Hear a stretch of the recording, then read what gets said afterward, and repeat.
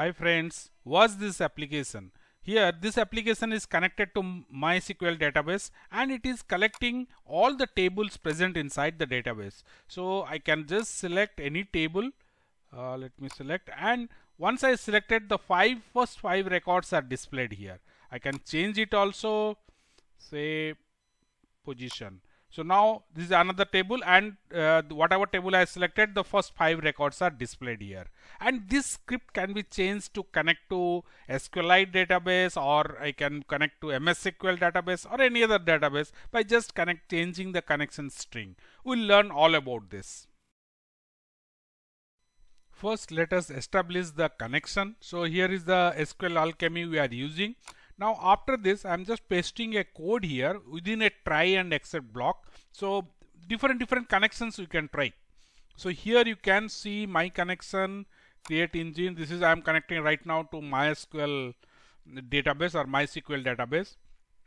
Suppose I want that it should be connected to SQLite then sorry not here I'll just comment this line and enable these two lines because this gives me the path in your because uh, SQLite is a file-based uh, database, so it, you have to give the path for it, and that path I am second line I am connecting.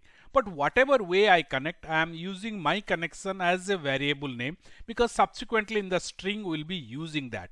So let's just try with this whether your connection is successful or not. If it is not, what is the error? This will be printed to the console. So now let me just run this and see okay fine. There is no error in my console. So this up to this point my connections are okay.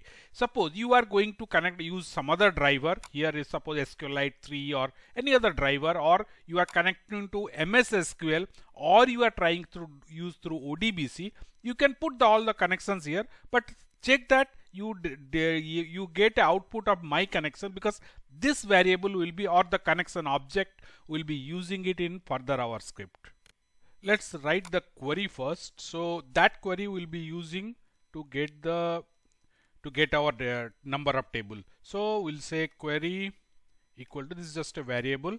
Now I am saying show so tables. This query is exclusively for MySQL database or uh, let's write it there for MySQL. Okay this is this query. Similarly there are I'm just pasting a little bit uh, same query here. You can see uncommented it. So because let me just take it to next line so you can read there. If you are going for say uh, database other data SQLite then you can use the second query and if you are going for MS SQL then use the third query. So any one of this should be used because query is different for the different tables. So I'm just right now connected to M, uh, MySQL so it is there in the MySQL. Now let's just ensure sorry here I have to change to MySQL again. Here I am just commenting these two lines no more for MySQL here it is. So I have connected to MySQL now. You can just see here uh, that is my test and my database is connected. The entire connection string is available here.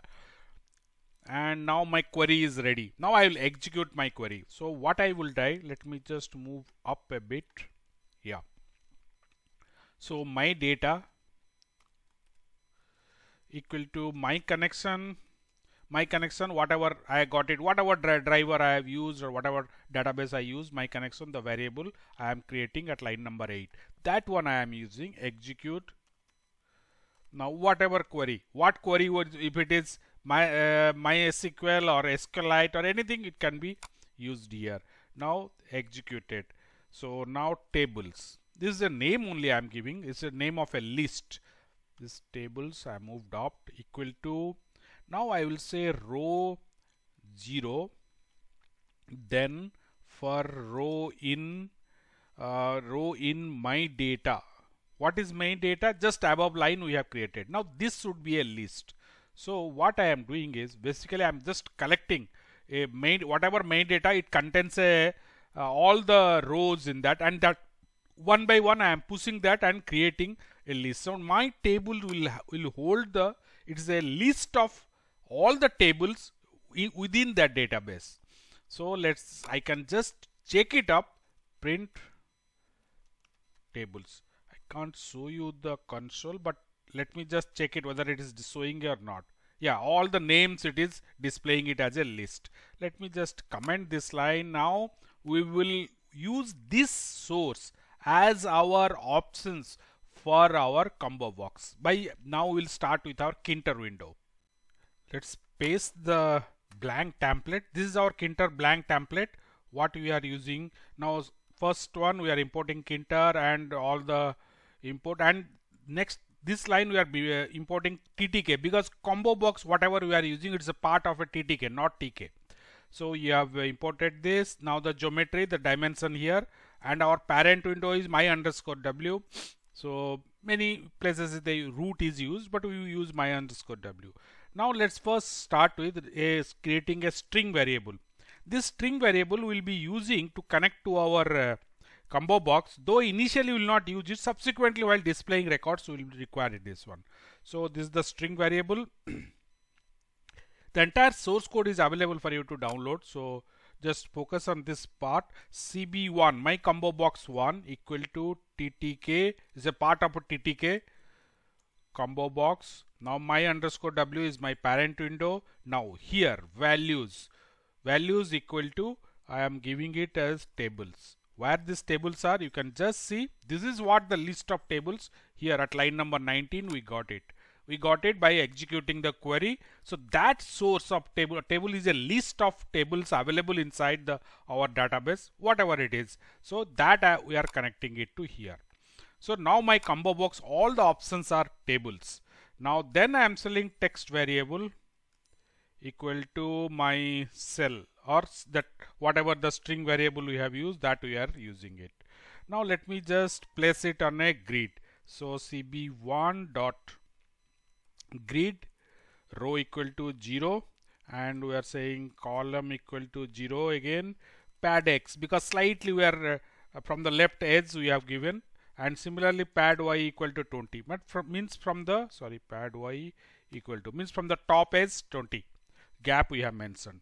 Now let's check up to this point how it works. Now it should show us the combo box with options or tables. Let's just see this you can see all the table lists are populated. This is what I actually we have printed at line number 20. You can see here that is what printed on my console and the same one we are using it as the option by giving the this values attribute. Let me just close this. This one. This is the key. This takes the data from the tables that one and connect it.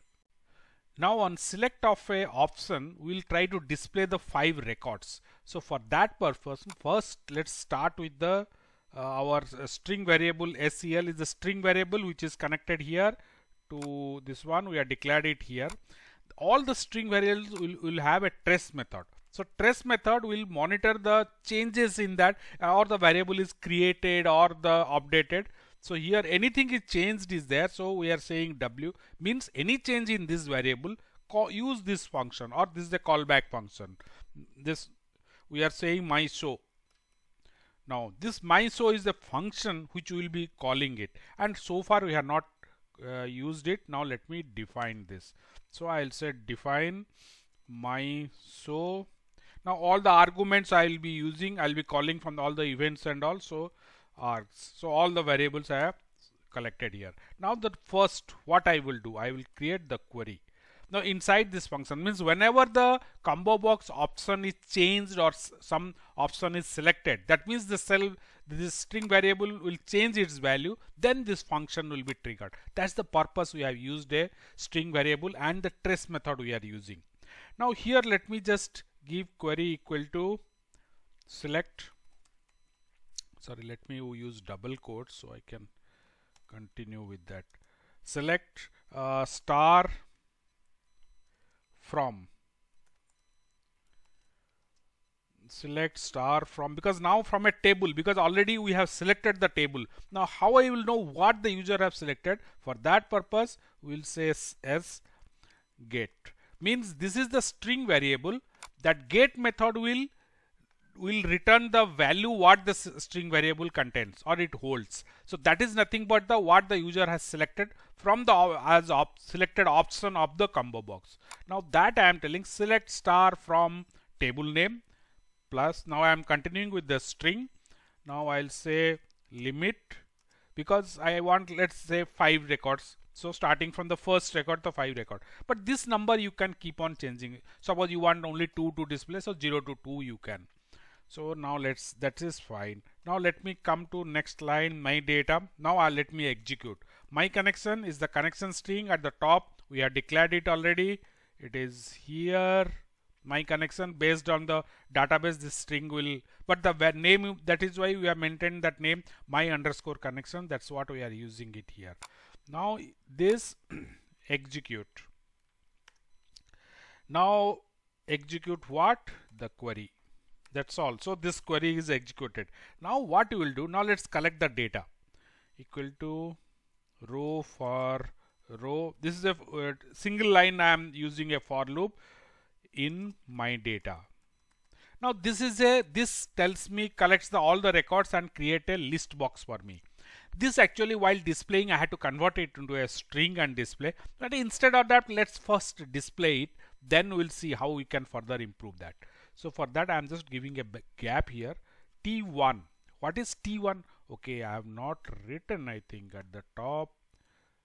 Yeah here I have not written T1 so for me in here what I will do after the combo box let me just add a uh, what you will T1 T1 is a it is a where the I will be displaying the record. So it's a text widget so T1 equal to tk dot text now my underscore w fine. Height. Height equal to 7 now width equal to let's say 45 then bg equal to or the background color yellow. Where it will be displayed? It will be displayed below the combo box. So uh, you can see the row is 0 so here row will be 1 so I am saying t1 dot grid. Now I'll say row equal to 1 now column equal to 0 let it be just below that. Then slide pad x 10 and pad y. You can keep on changing this dimension based on your requirement. So that's all. My grid is uh, sorry my uh, t1 is ready. So this t1 what i am going to do is first i am writing a delete command. Delete if any data is there start from 1 or the first character till end till the last character you everything you deleted. Why? Because whenever we change one table suppose we are displayed. Next we have changed the choice now to another table. Then it should it should delete and then otherwise what happen one after the other it will be added. So for that I am deleting and then then comes t1 dot insert. Now tk till end. And now I am adding this data whatever this data or the five rows or whatever I am collecting from the table that I am adding it here. So I can say comma data. But I will expand it because this is symbol means this I will it list will be expanded and then displayed. But you will see there is some more uh, we have to convert it into a string actually. Till this point let's run this and see. Then we'll go for the modification or the improvements. Now fine. Let's just select the any table you can. This is all the it's a big database a lot of tables are there uh, cars positional argument cars. Okay there is a mistake here. Let me just close this.